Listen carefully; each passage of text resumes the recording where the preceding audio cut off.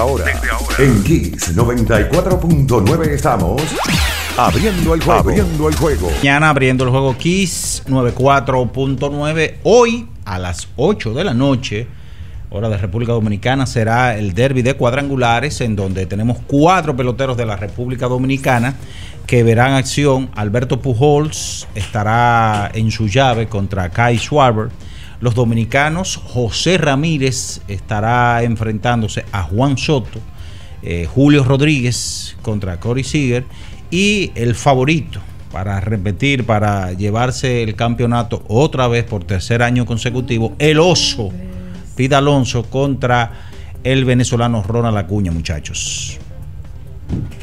Bueno, eh, Pete Alonso de hecho va a tener a Bob Guerin nuevamente como el lanzador para este para este derby de cuadrangulares. Casi siempre los jugadores escogen a alguien de confianza y con Bob Guerin, aunque ya no está con los Mets, está con los Dodgers, ha sido el hombre de confianza de Pete Alonso para que le lance en estos festivales de cuadrangulares, que está bastante interesante.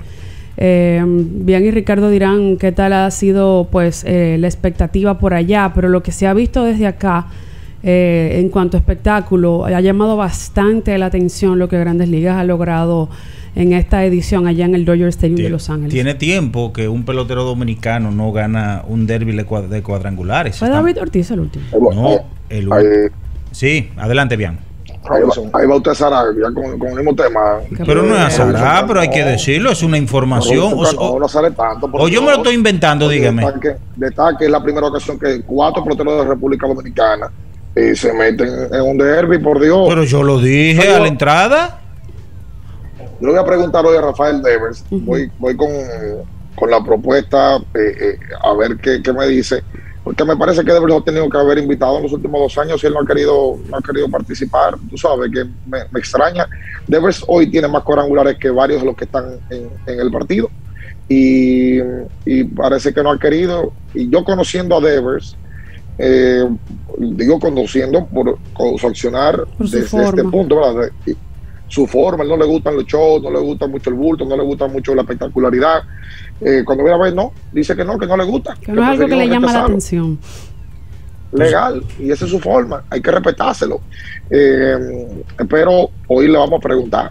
Tú sabes que en Minay ahorita, yo sé que estamos ya casi eh, a las 8 de la mañana, le vamos a recibir llamadas de parte de los muchachos, de la gente Em, el tema más trascendental del día de hoy eh, va a ser el anuncio ya finalmente del gerente del Clásico Mundial. Em, hoy a las 4 de la tarde, en un hotel de la ciudad capital, em, se va a estar anunciando el nuevo gerente de la República Dominicana. Un tema ya manoseado, un tema que yo creo que se pudo haber manejado mejor, eh, uno que me parece que le faltó un poco de clase a la federación y su personal. Eh, cuando digo de clase es porque siempre quisieron mantener el nombre de Moisés, como que estaba bailando apenas hace 15 días, o apenas hace 15 días, no hace una semana, eh, colocaron un tweet en la cuenta oficial eh, diciendo que Moisés todavía era considerado cuando Moisés estaba requete cansado de dejar saber que él no estaba interesado, que él se retiró porque vio la desorganización que había dentro de la propia federación. Y hoy, yo, Ricardo, lógicamente no podremos estar en la conferencia de prensa, yo sí espero que alguien le pregunte a la federación y sus representantes, no a Nelson Cruz, que hoy será presentado, sino a sus representantes, cuál va a ser el equipo que va a estar acompañando a Nelson Cruz. A mí me preocupa sobremanera el grupo de personas que van a estar asistiendo a Nelson, eh, porque si algo me preocupó de una declaración que vi de Juan Núñez el viernes, es que le, se la dio Noticia Sin y a Martín Rodríguez, y es de que el equipo ya está armado. El equipo no puede estar armado, porque se supone que hay un gerente que va a ser anunciado hoy, que a partir de hoy el gerente debe de comenzar a trabajar. Pero Juan Núñez en su boquita de comer está en, noticias de CIN, el tweet, se lo puedo mandar a Julio para que lo escuchemos luego de la pausa. Dice que ya los peloteros están contactados, que ya los peloteros saben quiénes son los que van, que ya los peloteros, ya que el equipo está armado. Entonces, si es así, le armaron el equipo a Nelson y que alguien le pregunta a Nelson si él comenzó a trabajar ya directamente con la federación. Y algo que yo no voy a, no voy a entender. cómo Nelson Cruz el año que viene como jugador va a estar en un campo de entrenamiento a partir del 14 o 13 de febrero y va a estar atento a llamadas de pelotero que se queda, pelotero que no puede ir, pelotero que toca hablar con fulano, pelotero que aquel. Esa función yo sinceramente no la entiendo. No sé ustedes. No, no, yo... Pero, pero el tema... Sí, dime la No, no, no, continúa. No, que el tema es más complicado todavía porque eso es en febrero, cuando haya temporada muerta.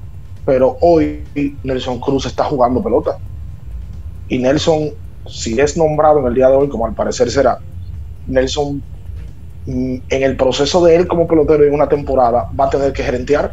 O sea, eso todavía es más locura.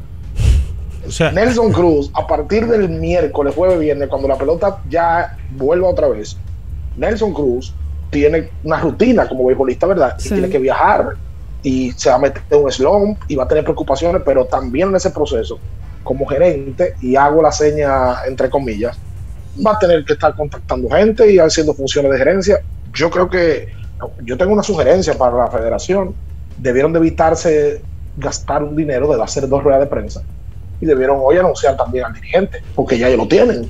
Sí. Entonces, debieron hoy anunciar, mire, el gerente general va a ser Nelson Cruz y el dirigente será Ronnie Linares, o el que le guste a ustedes. No sé, el nombre de Ronnie fue el que me pasaron a mí hace un tiempo, el que se ha bailoteado, pero no, no, no haga dos ruedas de prensa, una hoy, y menciona, lo, mencionan los dos. Yo lo que no entiendo, Ricardo, además de ese punto que tú expresas de por qué no anunciarlo todo junto, porque se supone que ya ha habido un periodo de evaluación que tiene meses llevándose a cabo, es como había un cierto tipo de organización a la cual ya uno estaba acostumbrado en la realización de los últimos eh, dos clásicos.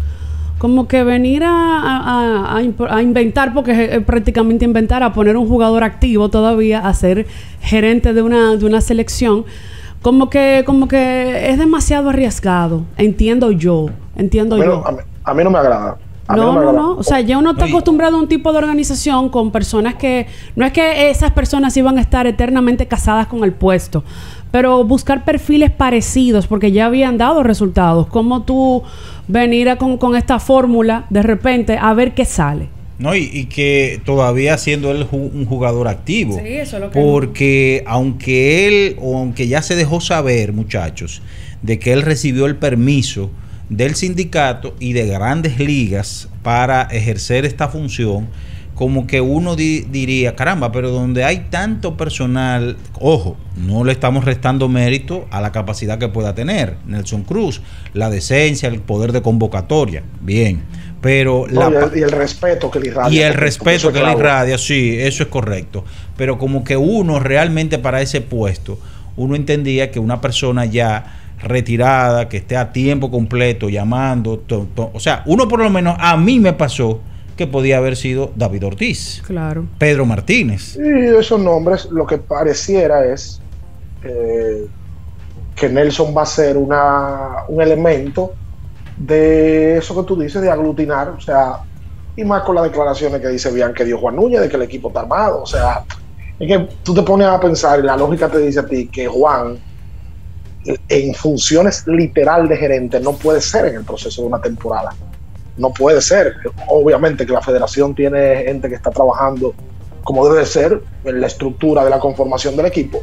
Pero Juan va a ser un ente ya de, eso, de llamar, del respeto, no es lo mismo que llame X persona a, por ejemplo, Rafael Devers, que lo llame Nelson, que aparte de ser un tipo con una carrera sólida, es un tipo que, sobre todo los muchachos jóvenes, eh, me parece que lo respetan por lo que él ha ido formando como carrera, no como pelotero, sino lo que él representa como ser humano en el béisbol, el respeto que él le tiene, inclusive hay un respeto recíproco con la prensa también, por el trato que él le da a la prensa, la prensa sí lo trata a él también. Así es. O sea, que hay un detalle, pase la pausa, yo sé que estamos sobre la pausa ya, Julio, ya, ya entrego rápido en el año 2013 en el año 2017 fue Moisés el gerente. Toca recordar que en ese clásico del 13 se hizo acompañar de José Gómez y Junior Novoa. Yo no recuerdo cómo hoy. Eh, lo que pasa es que Junior se tuvo que uniformar. Y luego Moisés se fue solo con, José. Eh, y yo a la fecha hablé con José hace unos días y José no tiene conocimiento alguno de ningún tipo de operación con respecto a la federación. O sea, la federación en aquel momento le entregó el tema operativo a Moisés y a José Gómez. José trabajaba con, con Moisés en el escogido y un muchacho que le podía resolver muchos problemas operativos y administrativos y José repitió en los últimos dos, dos clásicos. Para este no va. No sé si hoy Juan Núñez diga públicamente que sí que está, pero mientras tanto yo tengo la información de la pasada semana de que José no está. José que escuche el programa, ojalá que lo pueda confirmar, pero yo sé que el día de hoy no está. Entonces, Oye, a mí aunque- me preocupa, y yo lo dije la semana Juan pasada. diga, oigan, te decía, para para que Sí. tú continúes, aunque Juan diga que él va, yo no creo que José vaya sin que Moisés vaya. No lo creo. No lo. Legal. Bueno, Además de que José también estuvo con la Federación de Béisbol en el proyecto Pro Béisbol, que le dio la medalla de, de bronce a, lo- a la República Dominicana en los Juegos Olímpicos. Pero para culminar, ese tema de las fechas, de que no escribí, de que no puse fulano en la, en la lista preliminar, de que pasó tal fecha, que si yo no puse fulano en esta lista preliminar, yo no puedo llamarlo ahorita cuando falten cinco días para empezar el clásico, porque ya yo no le escribí en la lista que era en el mes de febrero. Entonces, cuando vengamos a ver, nosotros podemos pasar una vergüenza internacional y ojalá que la federación esté atenta a eso. Ojalá que hoy se le cuestione cuál va a ser el equipo operativo completo. No Nelson ahora que ha llegado ya y es el eh, no tengamos problemas más adelante. Exactamente. Además, las hamburguesas, ¿cuáles son la papa, el aderezo, el refresco y, y claro, bien. Porque que él no tiene Vamos a la experiencia en pausa. eso. Vámonos a la pausa, muchachos. Y en breve retornamos con más de Abriendo el Juego por esta Kiss. Mini, te quiero, te quiero, Mini, te extraño. I love you, bien. Ay, Dios mío. Vamos a la pausa.